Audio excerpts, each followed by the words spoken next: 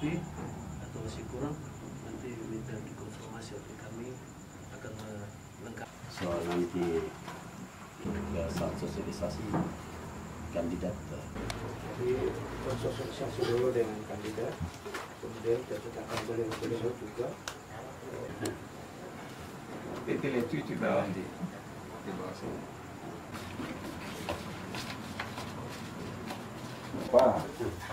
dari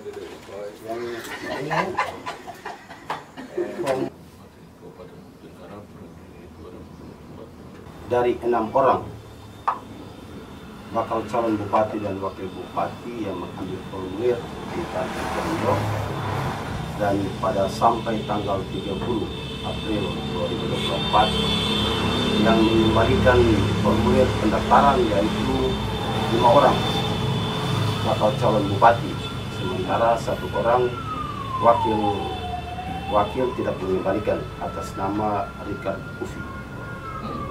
Oleh karena itu pada kesempatan ini kami dari tim penjaringan Partai Perindo menyatakan bahwa eh, hanya ada lima bakal calon bupati yang mendaftarkan diri di Partai Perindo untuk melakukan eh, proses selanjutnya.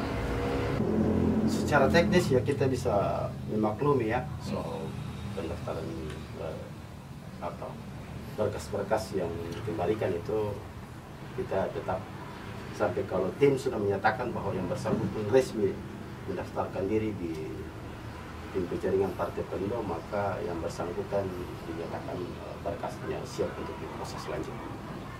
Pak. Yang ini form Dua, tiga, satu. soal nanti eh, siapa siapa atau kandidat mana yang nanti mendapatkan rekomendasi itu keputusannya ada di DPP. DPD hanya sekedar untuk eh, menyampaikan, mengusulkan sesuai dengan data, dengan hasil survei dan ada di kami itu kami akan lanjutkan ke DPP yang nantinya penilaiannya DPP untuk memutuskan merekomendasikan siapa calon yang nanti direkomendasikan dari DPP Partai Perindo di Jakarta.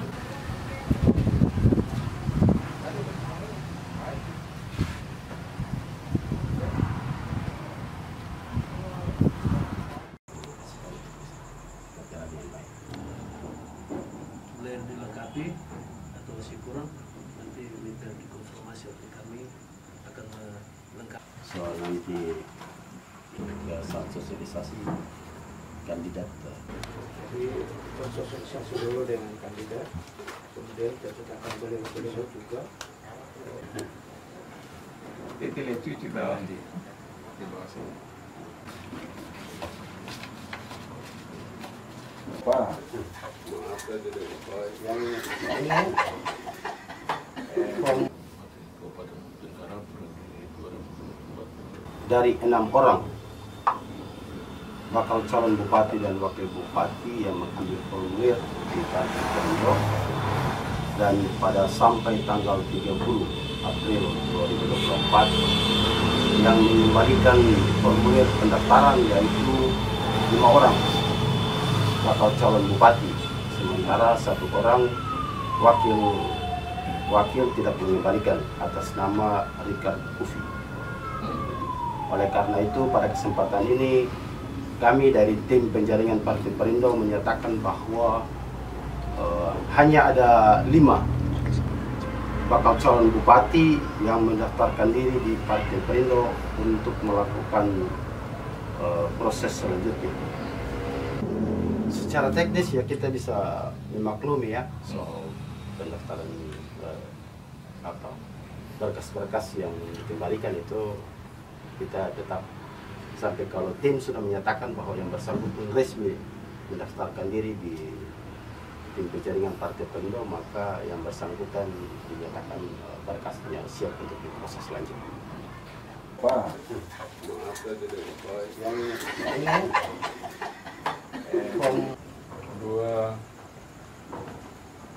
tiga, satu. Soal nanti eh, siapa siapa atau kandidat mana yang nanti mendapatkan rekomendasi itu keputusannya ada di DPP. DPD hanya sekedar untuk eh, menyampaikan, mengusulkan sesuai dengan data, dengan hasil survei dan ada di kami itu kami akan lanjutkan ke DPP yang nantinya penilaiannya DPP untuk memutuskan merekomendasikan siapa calon yang nanti direkomendasikan dari DPP Partai Perindo di Jakarta.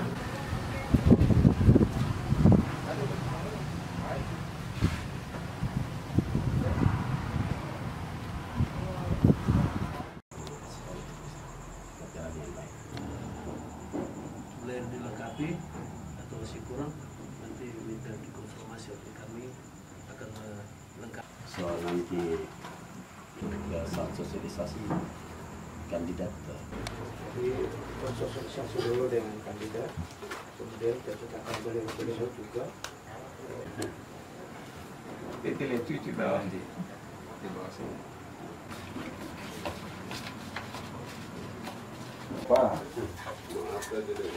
Yang ini